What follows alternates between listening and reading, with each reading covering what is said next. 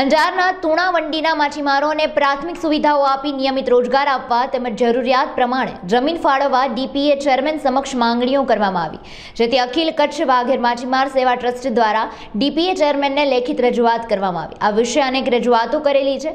આજ દિવસ સુધી માછીમારોની માંગણીઓ પોર્ટ દ્વારા સંતોષાઈ નથી. અખિલ કચ્છ વાઘેર માછીમાર સેવા ટ્રસ્ટ દ્વારા તુણા ટેકરાના દરિયા કિનારે આશરે એક મકાન આવાસ માટે માછીમારોની વસાહત અર્થે જમીનની આજીવન ફાળવણી ટોકન ભાવે કરવામાં આવે અને પગડિયા માછીમારો અને બોટોની અવરજવર ચોવીસ કલાક ચાલુ કરવા જેવી વિવિધ માંગણીઓ ડીપીએ ચેરમેન સમક્ષ કરવામાં આવી હતી. તેમજ નવ મહિના માટે વીરાભદ્રેશ્વર ત્રગડી અને કુતડી જેવા બંદરોમાં પ્રાથમિક જરૂરિયાતના અભાવે સ્થળાંતર કરવા મજબૂર બને છે. માટે જો તુણા ટેકરા પાસે માછીમારોને જીવન જરૂરિયાતની સુવિધાઓ મળે, તો માછીમારો આજીવન પોતાના મૂળ વતનમાં જ રોજગારી મેળવી શકે. જેથી દીનદયાલ પોર્ટ ઓથોરિટીને અહીં જમીન ફાળવણી કરવા પણ અરજ કરવામાં આવી હતી.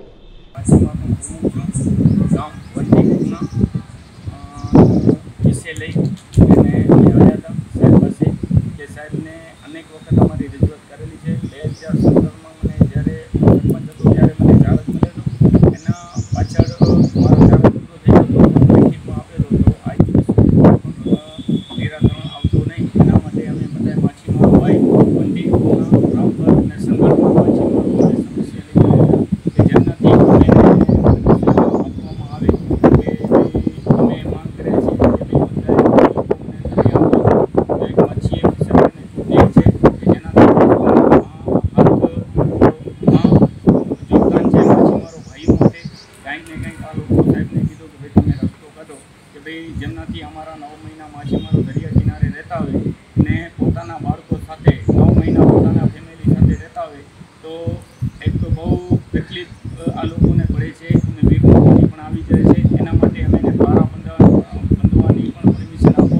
તમે ક્રિક ડ્રેજિંગ કરવા માટે તમે આપો. અનેક વખત Adani Kandla bulk terminal private limited દ્વારા કહેવામાં આવ્યો છે ભાઈ દીનદયાલ પોર્ટની જમીન છે, દીનદયાલ પોર્ટ અમને પરમિશન આપે તો અમે ડેજિંગ કરવા માટે તૈયાર થઈએ તો આજે સાહેબને ભાઈ રિક્વેસ્ટ કર્યા કે સાહેબે કીધું કે ભાઈ અમે તો આ લોકોને એ કીધેલું જ છે કે ભાઈ તમે ડ્રી ક્રિક ડ્રેજિંગ કરો તેમ છતાં પણ અદાણી પોર્ટ દ્વારા ક્રિક ડ્રેજિંગ કરવામાં આવી નથી તો આ લોકો ક્રિકની ડ્રેજિંગ થાય તો ઘણી બધી સમસ્યા અમારી માછીમારો ભાઈઓની હલ થઈ શકે છે ને સીએસઆર બધી જગા અ, દીનદયાલ અ, વાપરતો હોય તો એક એવો અમારા ગામ છે.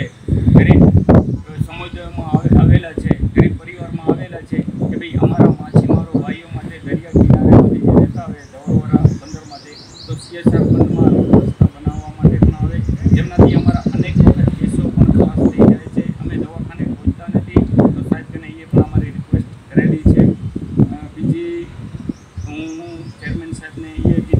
સાહેબ, આજે બે હજાર સત્તરના ત્રીજા મહિનામાં મને જ્યારે વંદીગ્રામ પંજાબમાં સરપંચ હતો, ત્યારે અનેક વખત મારી લીધી છે.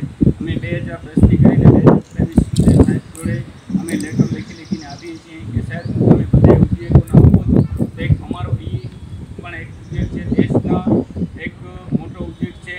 દેશનું સાથે રહી ને દેશનો વિકાસ થાય છે.